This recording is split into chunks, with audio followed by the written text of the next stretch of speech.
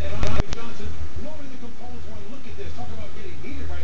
Andre Johnson, totally uncharacteristic for him. I guess he didn't like the stock tip that Finnegan was sharing with them. He goes off expressing his frustration. Both guys